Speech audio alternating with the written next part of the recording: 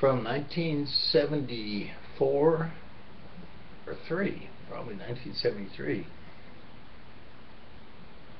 on West Main Street in Houston, Texas. The Walking Talking Green Frog Lounge Blues Medicine Show and Morality Play. Originally, I think, called the Green Frog Lounge Walking Talking Blues Medicine Show and Morality Play.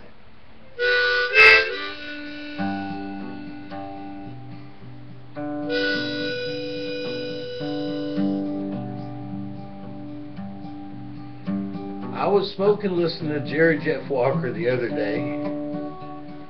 In walks this chick, she says she's from the SLA. Said she played drums with Joplin and Gregg Allman too. She'd been electroshocked and mental warded ever since she was two.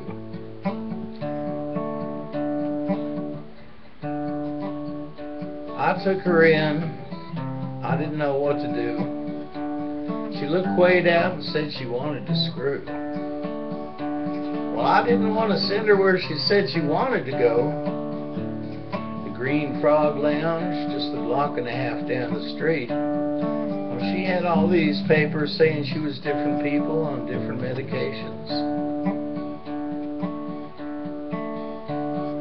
Lord, what could I do?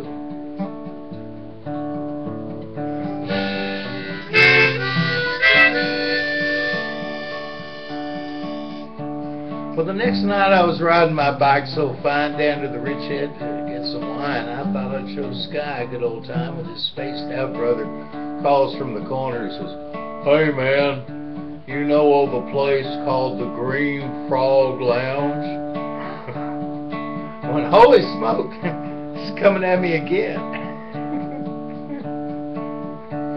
well, I was carrying a big bag of empty Coke bottles. About 12 of the 32 ounce size, I think. Well, I didn't know if I should turn around and help him out or not.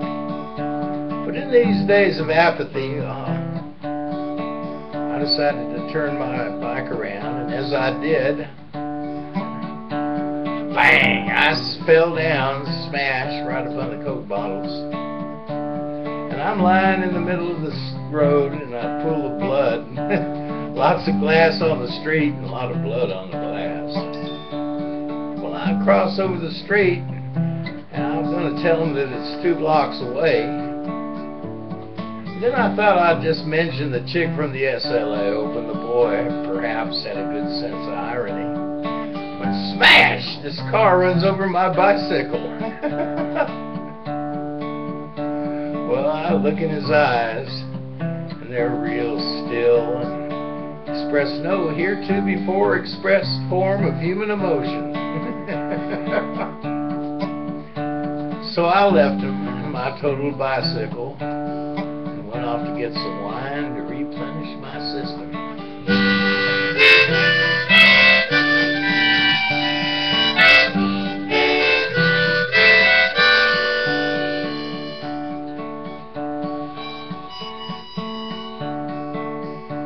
Well, I thought I was the punchline of the Cosmic Joker's joke. I've been running into so many of those weirdy kind of folk. Well, not the kind that have long hair or smoke, but the kind of us that just don't seem to have any hope. You know who I mean. There's a little bit of it, and a little bit of that in all of us. Just make sure it don't get to you.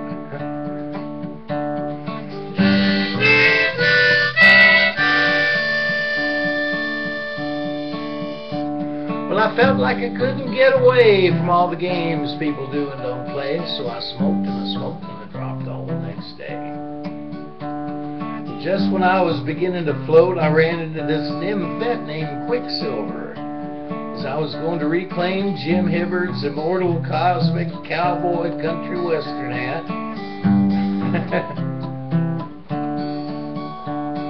and since I knowed her, I, I since I knew her. I knew something was going on when she asked me if I knew where she'd had a brew that afternoon. And I said, nope. And she said, oh, just around the corner at the Green Frog Lounge. And I went, holy smoke! It's coming at me again! Look out! Well, we went back to the Citadel, and the rest of the story is too awful to tell. We sort of started doing this little dance, Texas Phyrre were put into a trance. Got in a fight over this little number. He wound up like Jesus in the rain, knocked out, stretched down, senseless of pain. A veritable cross in the grass.